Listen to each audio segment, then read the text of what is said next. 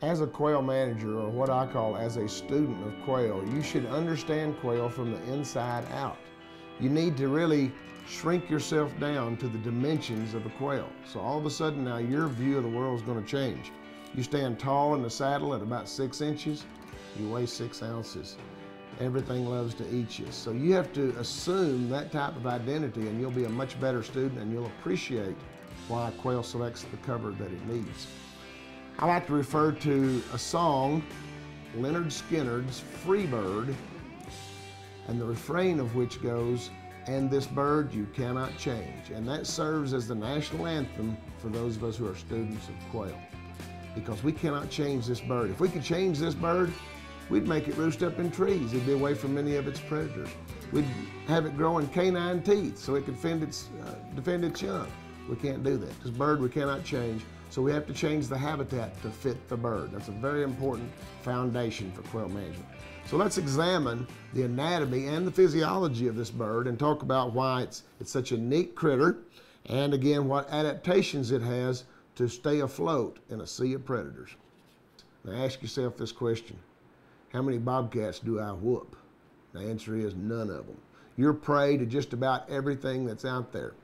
What about a Cooper's hawk? How many of those do I stick my tongue out at? One. Are we clear? he's going to nail you after that. So you've got great respect for your various enemies. And now let's look at the adaptations that help us stay afloat with all those enemies. The first thing, of course, you notice is that the quail is covered with feathers. Feathers serve at least three functions in a quail. One is camouflage. If you've got that mottled brown appearance down on the ground and you're perfectly still, excellent camouflage. The other one is, of course, flight. Bird can fly away the, when the situation presents itself. The other function of feathers, and it's really the initial, the original function of feathers, is body warmth, thermoregulation. That quail's normal body temperature is 108 degrees.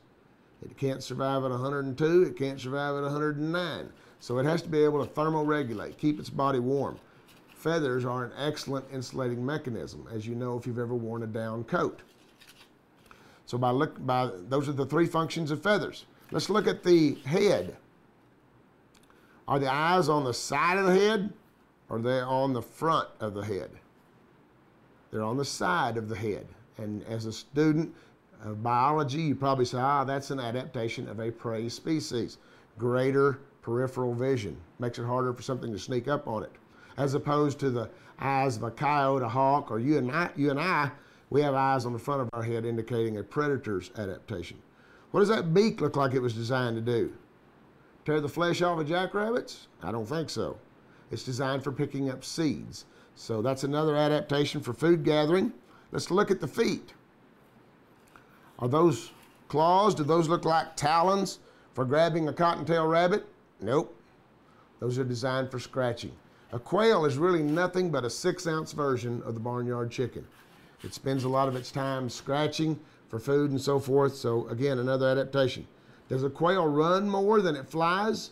We'll look internally to answer that question. The male and the female quail, the cock and the hen, both look fairly similar, but the cock has a white face mask and a white stripe through right here, whereas in the female, this will be more of a buffy, kind of tawny yellow colored on the throat and on the face. Very easy to distinguish the, uh, the male and the female and the bobwhite. Blue quail are a bit more difficult. Now, if we think about other external features that are important to this quail, there's one right back here at the base of the tail. You can see just a little bit of a feather peeking out of it. If you're familiar with poultry, you know that that's called the oil gland, or the technical term is uropygial gland. And if you were to squeeze that with some forceps, you'd get a little bit of three-in-one oil out.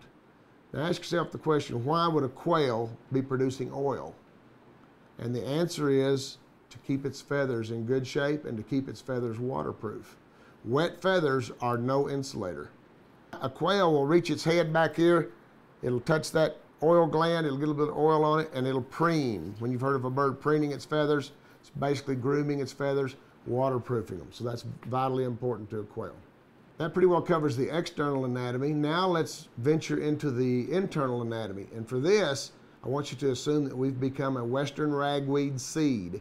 That quail picks us up. Now we're going to follow the passage down through the center of a quail. In order to see the internal anatomy, of course, we have to clean the quail. So I'm going to pluck this bird and I'll be right back with you.